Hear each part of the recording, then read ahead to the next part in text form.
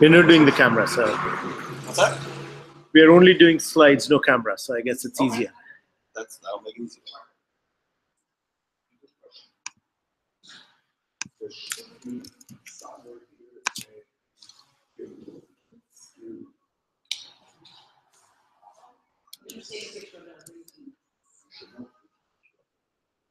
Slavik, can you see your screen? I can see uh, Static. Now do you see more? See your Static. Playback on other websites has been disabled by the video owner. What does it mean? Sure. Making sure we'll. No, that's all right. Thank you. That is really bizarre.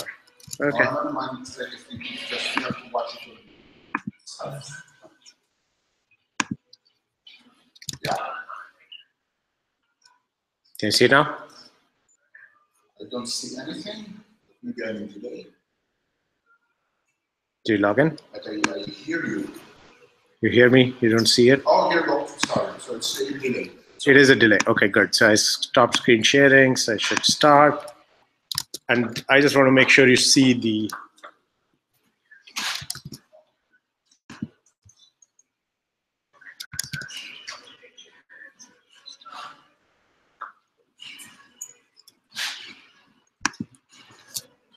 Good? Yes. Perfect. All right, one more thing and then we're going. There's a one viewer. All right, guys, thank you for coming. Uh, before we kickstart, uh, I'm uh, Rishi, I'm co-founder of Demisto. There's other Demisto team members, Slavika CEO, Erika, others. Uh, we are a security automation and collaboration platform for security operations, and we do these meetups monthly. Uh, today we have uh, Calvin as the speaker, and uh, the way we connected was we connected on our uh, incident response community, which we have created, and uh, I would like you to guys join us as well. It's on our website, demisto.com slash community. It's an open community, discussions about all kind of incident response and forensics topics. And then we met with Calvin, came to our office, and uh, he has an amazing story. So this whole originated from his experience and loved the story so much, I says, you should tell it to others. And here we are. So I think I'll leave it at that towards the end uh, for some of the new folks here.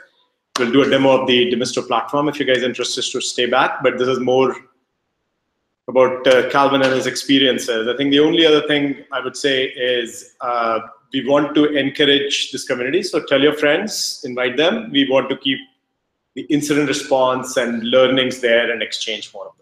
With that, Calvin, go for it. Pizza and beers. It's free pizza and beer. At least once a month. And and I just want to add, I mean, the, the uh, Slack that Rishi Rishi's talking about, there's a lot of great stuff there, a lot of great community. Uh, Demisto's also compiled a really nice list of tools for people that are new, that are looking to see, you know, what, what options are out there. And looks like our broadcast is No, it's not down, it's just not sharing. It's not sharing. So let's try the share again. It's getting there. It's delayed.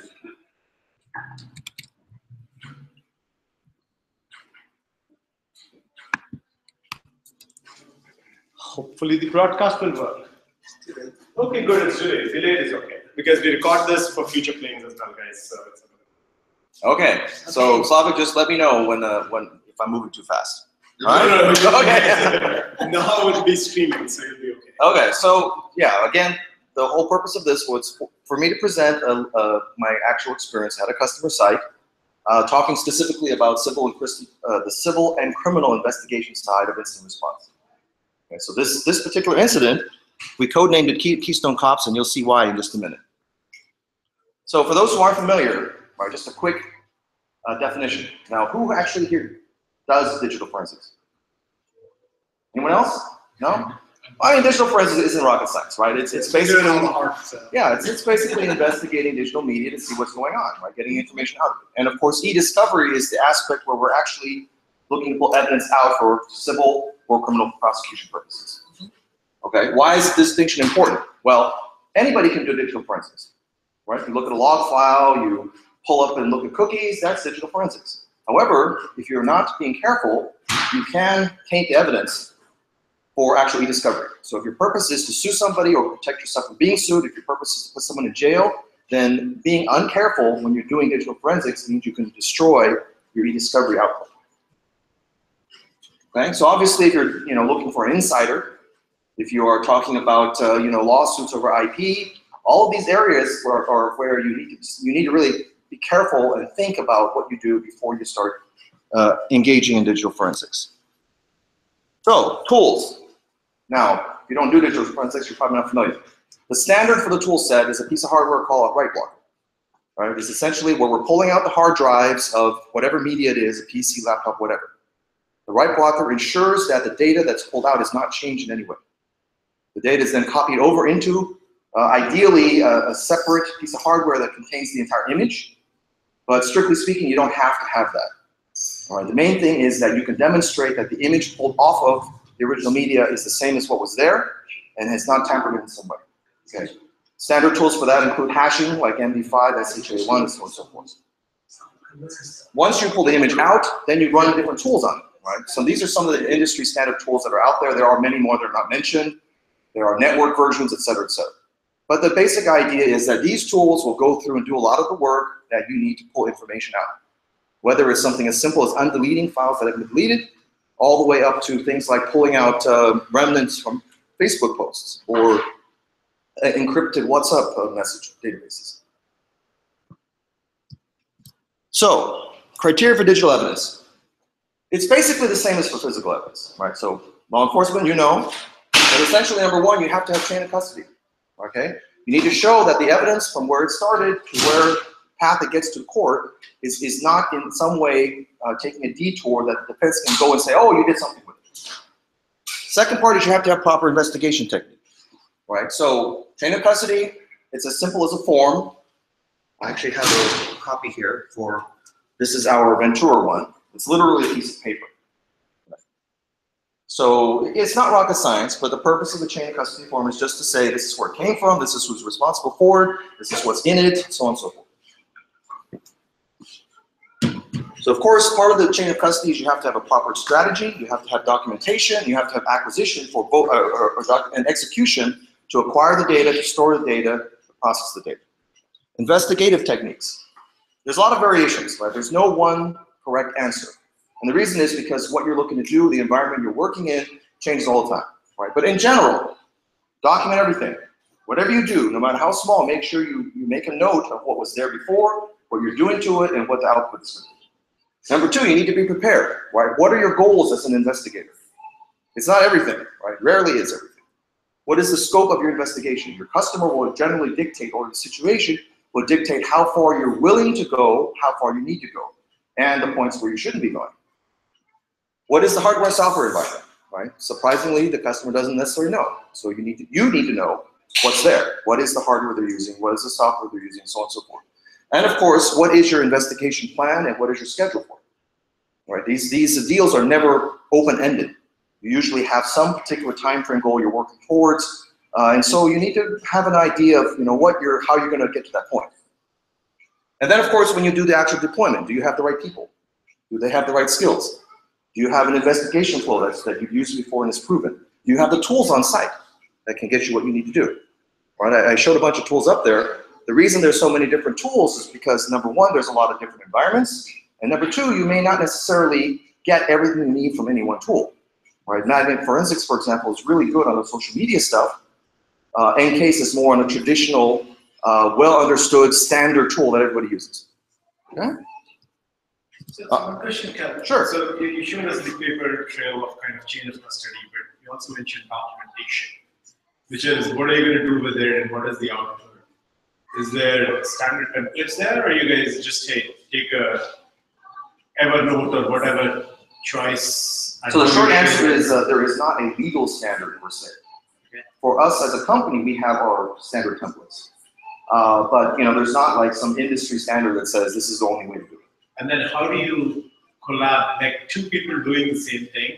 Do you use like a Google Docs to share what you're doing, or do you email it back and forth? What do you do? So the short answer is that uh, we do all of that. We, Okay. we do messaging, we do Google Docs, we do all of that, which is why something like this can be very useful. Right. At the end of the day, having a common platform, platform makes it easier to ensure that things aren't missed or dropped. But uh, of course, for us, we're mature, so we, you know, Yeah, we yeah. do that. But when we bring new people in, it's definitely a problem. Yes, Do you ever like take photos while you're? absolutely. That's part of documentation, right? So one of the first things we do when we get evidence in, for example, is we put all the hard drives and take a picture of it. Right? It sounds really simple, but It's documenting what you're. You would be surprised, okay? You'd be surprised how, and, and you'll see in a little, a little bit why we do this. he's laughing because he's seen this already. So, so as a note, I mean, as we all know, right, we're in the technology side. Digital evidence has some fundamental differences versus physical evidence, right? The lot of the flow we see today has a very clear lineage from the physical evidence side. But the reality is that digital evidence, you can copy it, you can transport it, you can back it up, you can do all kinds of stuff to it, and do integrity checks, which you can't do with physical evidence. Right? Knife with blood on is a knife with blood on. You can't really do much with it except put it in the drawer. Right? An image you can put anywhere in the world through the internet, right? And preserve integrity through, you know, hash checks.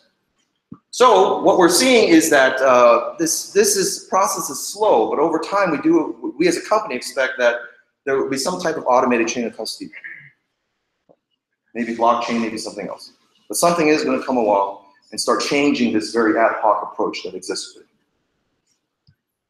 All right, so let's talk about the situation. The customer is a global 500 company. It's actually an old school business, but it's actually very IP heavy. Customer was attacked in a month long campaign. So what happened was they were getting email threats against their executives and their employees. A WordPress blog site was, was created and used to leak internal documents. And in addition, a Twitter account was being used to direct attention to the leaked documents. Okay, pretty serious. I mean, we're talking CEO's job is in danger here. So we were actually the third vendor brought on site. Okay, so this is uh, this is kind of an interesting situation, but Couldn't stop it. essentially the first vendor was a big four consultancy. Okay, I'm not going to say who, but it was, it's a big one. Uh, they deployed 10 of their consultants on site for incident response for over a year. Wow. The second vendor was a top 10 local consultancy in Brazil. I think Booz, Booz Hamilton, but in Brazil. And they were basically charged with doing ongoing cyber threat intelligence to, to make sure there weren't additional leaks, uh, basically to monitor the situation to see that this didn't recur. Okay?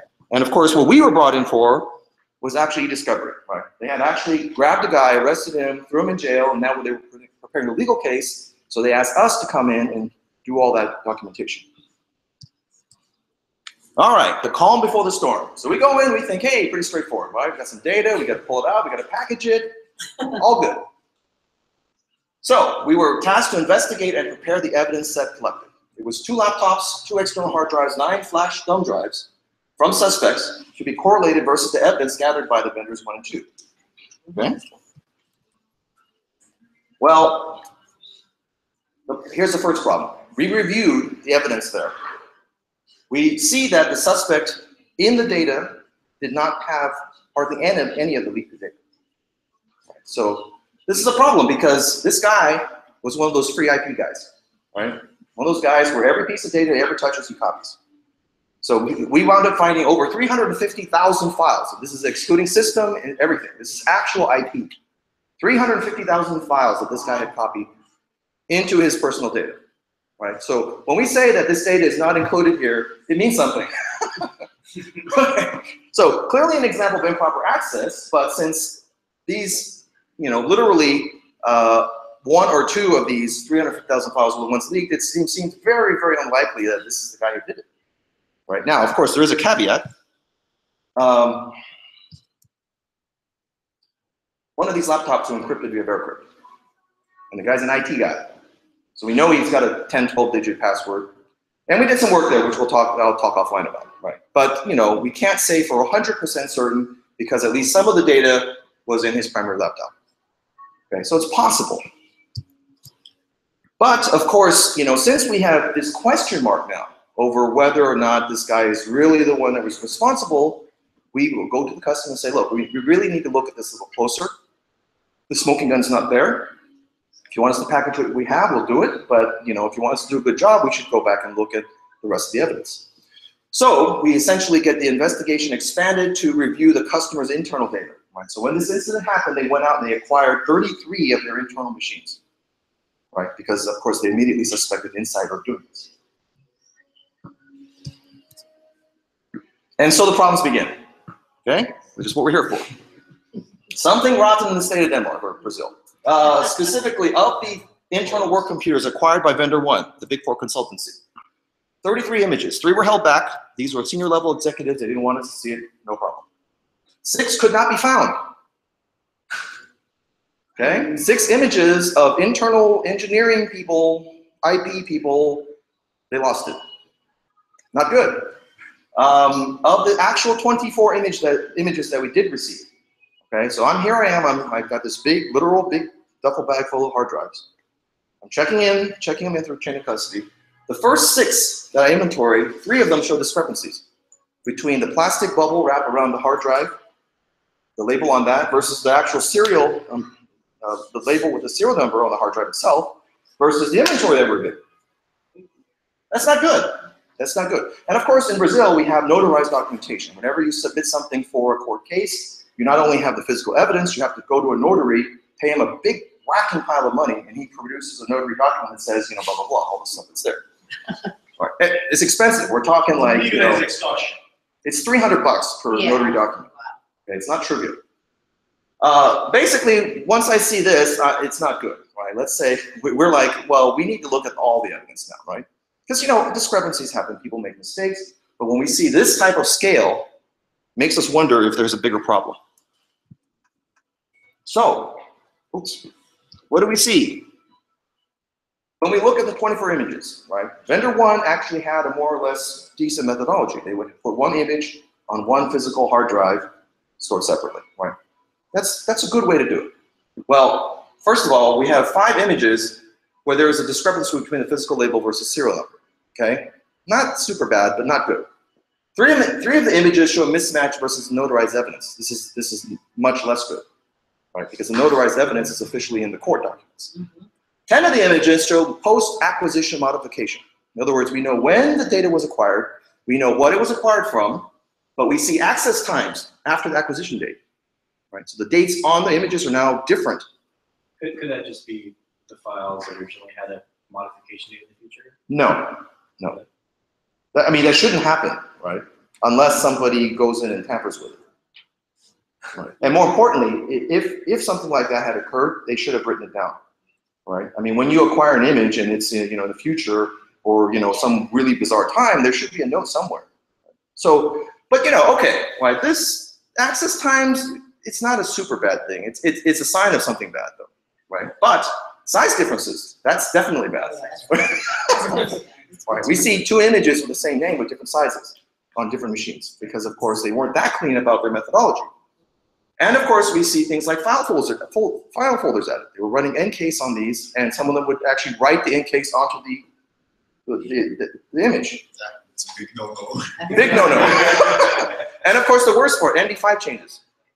Right? So the notarized documentation has the MD5 hashes of all of these images, and some of them show different numbers because they are actually opening them.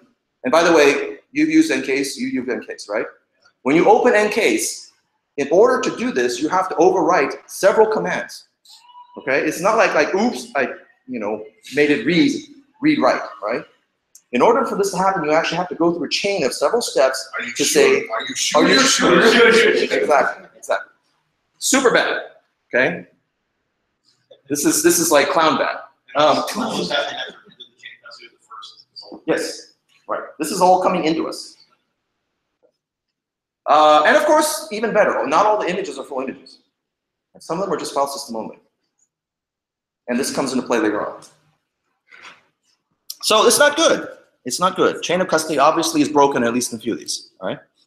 So at this point, we're like, it's time to get medieval on your ass. So we have no confidence whatsoever in what happened before. It is time to really look closely at what's going on. So we review the full evidence. And by the way, this is the evidence set that was already submitted to the police and to the court. All right. So this is coming in after after this is already on the record, so to speak. Vendor one acquisition. They were charged with getting the WordPress blog.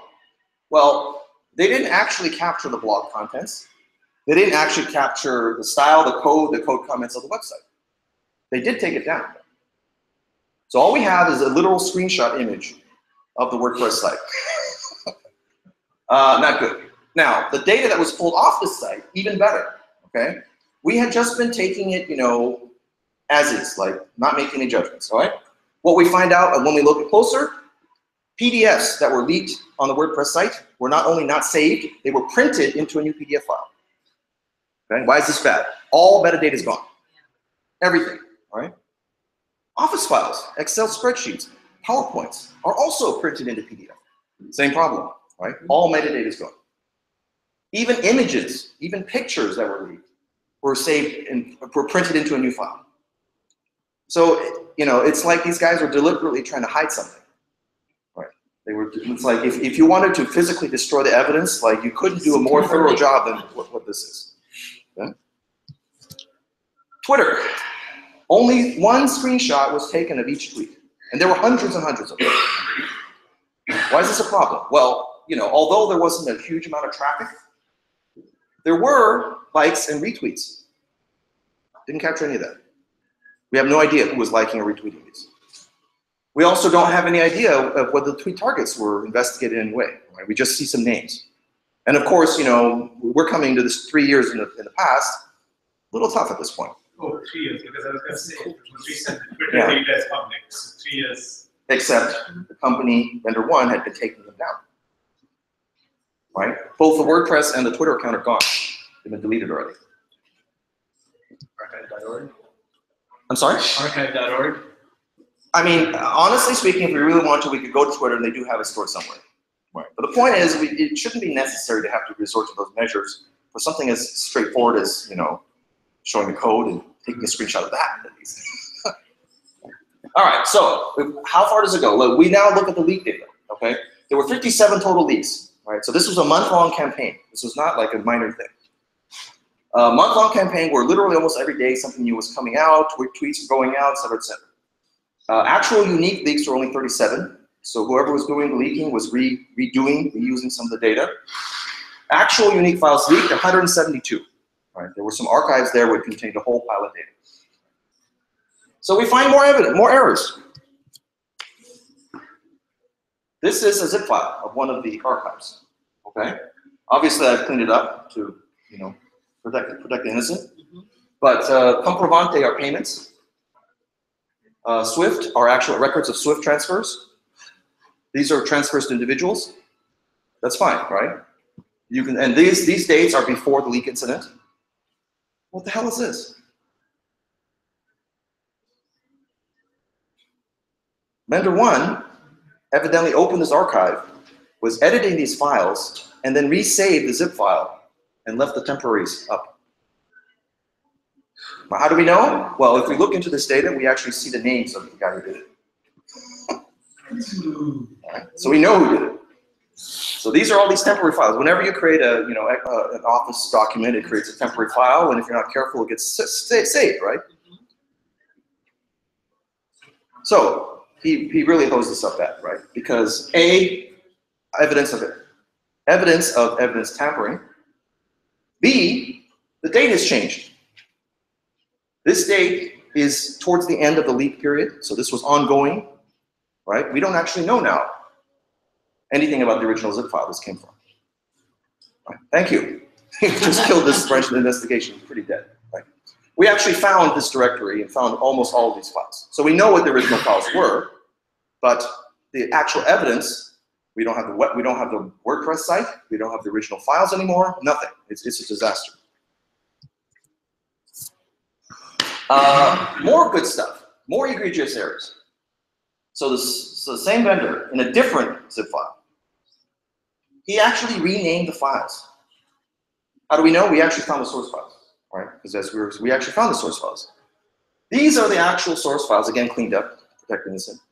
These were what were in the evidence. How do we know? Well, once again, we, we have his fingerprints there, right? We have the names of the guys who did this. What the fuck? like seriously, right? We're in Brazil. Why are they renaming this into English? No, I mean really, why? Why would you rename this in English? Right? Why would you rename it period? This is supposed to be evidence. Uh, you know, and again, you know, we know that they're correct because we found the original files and the actual, you know, the, the name changes don't affect the MD5. Right? So the files MD5 match is what we found. But this this this lost us a week. Right? Because oh, English, that means our attacker must be an English speaker. Uh, no, not really. or maybe, but we will never know, right? All right. So, long story short, 10 guys on site for a year. Judge throws out all the digital evidence. All of it. So you can imagine how happy the customer is. He's just paid for 10 Big Four consultancy guys on site for a Oh, year. He's thrown a guy in jail for four months. All the evidence against him has to be thrown out on the digital side.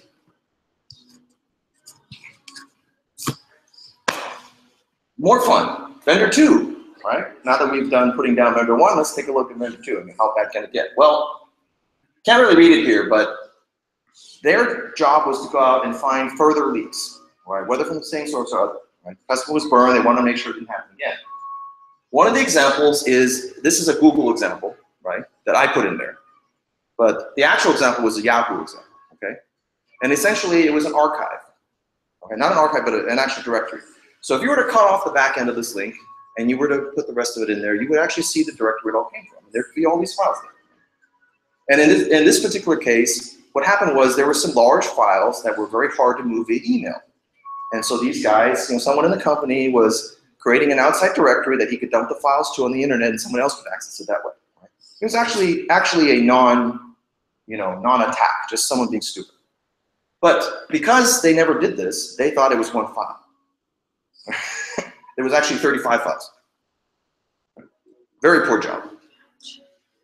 Uh, and of course, you know, we know this because, you know, they found that one file because it had a keyword in it. That was the company name. None of the other 34 files had the company name. So of course, all they found was this. Oops. Uh, second thing they did, which was actually a good idea, right? This is about the time the LinkedIn leak came out. They had a bright idea. Let's look and see if uh, company people were in that LinkedIn database and were using, reusing the same passwords in their corporate stuff. It's a good idea, actually, right? Well, the problem is, one, these guys did not use a clean Bitcoin. So, what's that? Tracked back.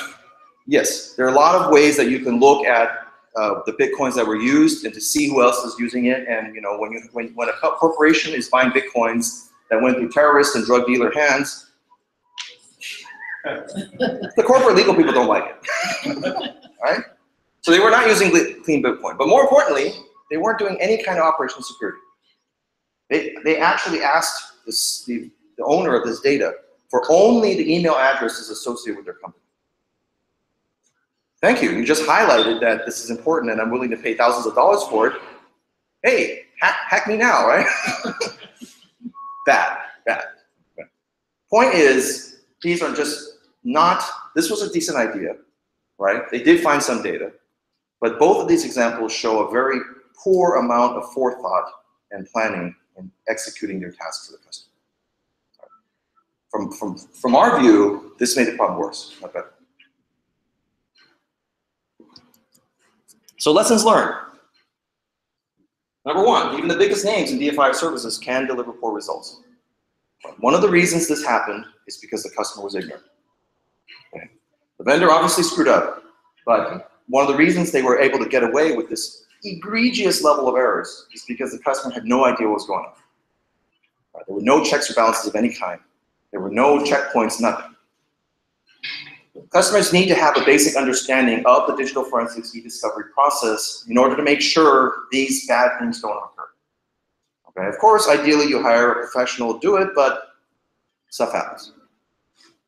Practitioners, be professional, right? Don't forget the basics. Document, flows, scope, right? Think about the consequences of your actions. And of course, operational security is not just a term. The last thing the customer needs is for the security practitioner to be making more problems. And that's uh, that's basically it. We're Ventura. We do uh, digital forensics, e-discovery and incident response. Questions? How long did it take for you to find all of that? How long do you have? So we started on uh, the middle of February and we wrapped up in June. So we had uh, three guys on site, so myself and two other people, uh, basically doing the same work that was supposedly done by 10 guys inside for you. So how did you make this huge mistake and not stay for the Olympics? Well, honestly, uh, you know, again, uh, because somebody was actually put in jail, uh, So, so what was the, the outcome? So all of these findings then, did they go back, like, did you guys eventually go back to the court and things corrected? So- so where- the- the- did end up? So where it end up was uh, at, at by the beginning of June, which is when we were wrapping up. Okay, we had proposed one more, one last phase. We had actually identified the actual server that all the data came from. Right. So up till this point, we had just been looking at data. With the access to internal information, we had narrowed it down to the point where because the leak data wasn't random, right? The leak data, uh, a lot of it was um, was scanned images, honestly, right? So we would see versions of it, like the source uh, Excel, uh, source Office documents. Uh, we would see actual like uh, intermediate versions where like some agreement was signed by the CEO but not by anybody else. But we would actually see the full agreement signed by all the parties in the leaked documents. So this gave us a very good idea of where the actual attack point came from. We had identified the actual server that did it. Okay, that we're you know 90% sure. So we had proposed another project to, to you know, process that server and, and find out once and for all. The problem is, again, the, the, the whole case has been going on for a couple years plus, right? Um, the original suspect was not actually even in the company when the leaks happened. Okay, so he was an IT guy that switched over to finance department, and due to a discrepancy with his resume, was fired. All right, so he was already out of the company before the leaks even occurred. But everyone would pointed fingers at him and said he was the one. And he was the one that got thrown in jail for four months, pretty much at the word of the company. Right? So you can see this is just a shitstorm, right? This is a guy that's been in, in jail in Brazil for four months, and in our opinion, was probably not the guy who did it. Okay? So most likely, the reason the company decided not to go further is because A, the, the CEO's job has already been resolved, right? He's still in it. And B, if the further we dig, the more likely we're going to produce evidence that they put the wrong guy in jail. So that's where we wound up. But of course, there's a gigantic lawsuit going on between the company and vendor one. Uh, I Or mean, is it a uh, all of One year findings? Uh, he's not happy. Yeah. Yeah. because because vendor one obviously does all the other stuff, right? They do their accounting and. Yeah, they do everything, so. I mean, I was actually in the room when the CEO of our customer called the CEO of this big four consultancy in Brazil. And he, and the secretary answers and says, you know, Mr. So-and-so is in a meeting right now. Um, can, can he call you back? And, the- and the CEO is like, customer CEO is like, you need to walk into that room. And you need to tell Mr. So-and-so that this is Mr. So-and-so calling. And if he doesn't call me back in five minutes, you're going to lose your job. It was like that, so, I mean, that's going to be rolling around for a while, and you know, I don't know when it's going to get resolved. But it's just ugly all around, right? And, uh, but all of this occurred because of, again, a whole series of mistakes. Is, is this, and the way you describe, is this just on vendor one, not experienced analysts doing this stuff and mistakes? Or is there, like, is there data to point to malintent on part of vendor one as well? So, you know, obviously, we're not the right people to judge a competitor. Uh, what we can say, though, is that uh, one of the fingerprints on the documents is the head of the division in Brazil. So it's not a random dude. So we, we, you know, this is a big customer. They're very important, right? It's, it's not like you know some new guy was hired and thrown in there and he just wasn't clueless. So I don't know what happened, right? Again, we're not we're not. A, a lot of this was pulled out over time, right? We were only given little bits, and the more we dug, the, the you know the bigger hole became. But it, it's just bad. It's just a very poor uh, example of, or I should say, a very good example of what not to do. Yes. Uh, when you're doing an investigation like this in general, uh, how much would you say is like done by automated tools versus like manual digging through things? So uh, if you look at this particular project in phases, right? So we had a first phase where we first brought in for the digital discovery. Um, you know, the, the, e-discovery bit that we were first brought in for, which is not even in this phase, right? This was like in January of this year. That was probably, it was probably 60% tools and 40% report writing, right? Because in this case, all we're doing is gathering evidence, right? Show me all the examples of uh, IP that was, uh, you know, in the leaked documents, right? Which is keyword searches and stuff like that right? And then the rest, of course, is you know doing the report. Once we got into an investigation, then the tool bit becomes less of an issue. We still run it, but it's a one-time run, right? We run the tools to do all the you know extraction of various data. That was probably around 10, 15% of the, the, the hours spent, although not billable hours? So for us, you know, we kick off the runs, we go, we leave and come back in a couple days. Right? There's no point billing, you know, our rate for for machines running tools, right? So, but basically, as you get further and further down, right, once you've extracted the data you need to extract from there, then a lot of it is, is manual work, right? So for example, um, you know, some of the leaked documents were only findable by digging through email, right? So, you know, from the tools, for example, you can see timelines, right? Um, we know roughly, because of the subject matter, almost exactly when the timeline was for one set of documents, because you know the, the financial payment stuff. We knew exactly what that timeline was, and from there we can use the tools to, to give us all the you know, emails and so forth in that point. But then to actually go through that and find the right one requires a human, right? And in this particular case, the uh, the origin of these documents was encrypting the data, right? which is another interesting piece of evidence. Right? The leaked data was actually encrypted, although the unlocked password was in another email right beside it. but we actually see the actual document. We actually know exactly where it came from. Uh, but it was not the version that was stored. Uh, you know, probably on server two. What's that? The English version. Uh, I mean, the language of money, right? So yes, uh, although this was in Brazil, this, the company standardizes on English internally. Uh, so all their documents are, all, all their legal documents are in English. But you know, Google Translate worked pretty well, except for some little cases like uh, trivia. The word legal, which sounds like legal, it just means cool. in Portuguese, that confused me for a while. Any other questions?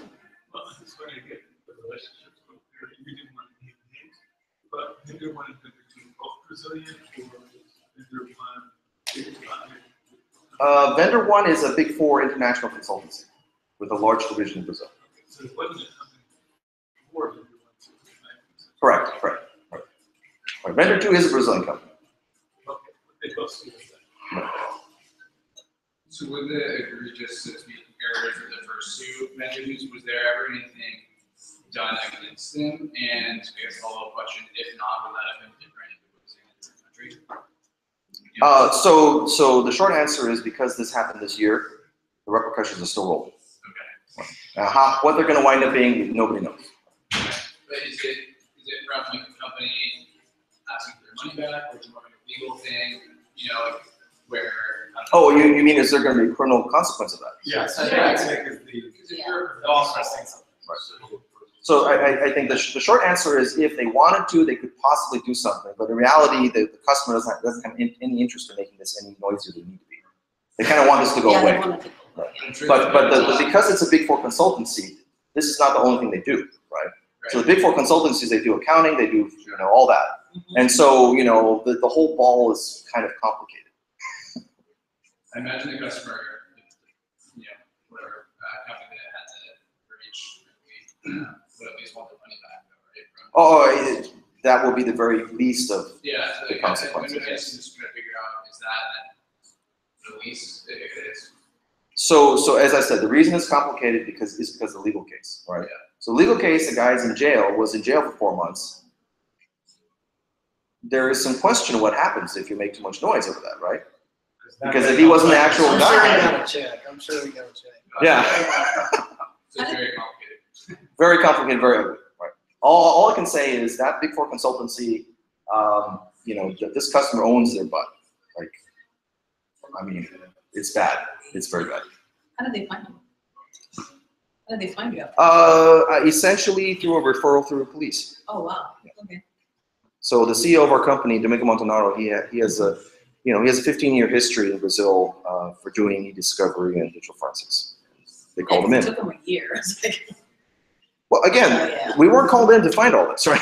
yeah. We were just called in to document this case and prepare a nice report for the, for them to throw the book at this first law. Yeah. Any other questions? Interesting.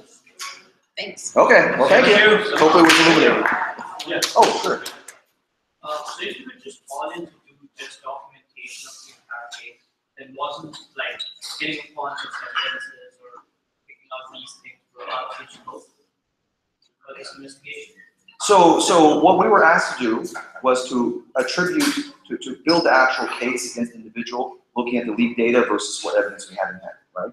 So yes, we weren't asked to find those risks and mistakes. But the thing is, when you go through and you see this kind of mistake there, so we document it because we don't want the fire to be lit on our ass. Right, and so, you know, all of what you see here, we didn't even really talk about until our final report after the second case. Because, you know, at the end of the day, if we were to bring it up front, it looks like we're just trying to make more business for ourselves, which we're really not. In this case, we just wanted the customer to be aware that their whole legal team, their whole direction that they've been going on is, is a little shaky. Um, but, you know, that wasn't our charter. It's just when evidence starts coming in and it's, as you see, you have to, you have to protect yourself. I'm gonna see if there's any questions online for a minute, guys, because we are streaming this, and then.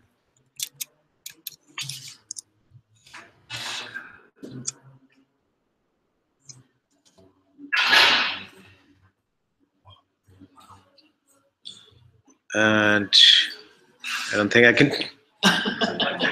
So there's no questions, I guess. I'll- uh, We assume there's no. All right. Uh,